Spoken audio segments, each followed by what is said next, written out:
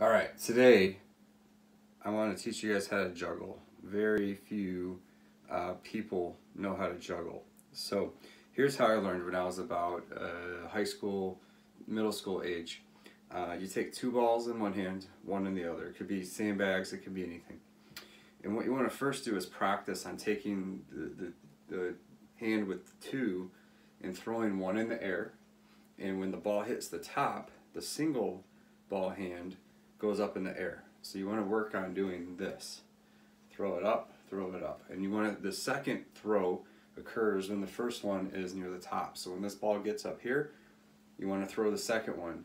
So that gives you time to then catch and then also catch this one. So this is step one. Just work on throwing up and catching. Throw up and catch.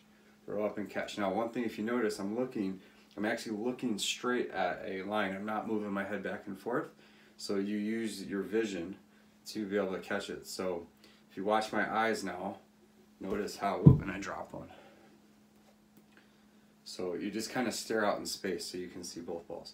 So once you get good at that, then what happens is when this goes up and this goes up, when that second ball is up here, now the, the third ball gets thrown in the air. So it ends up looking like this right? And that's how you juggle.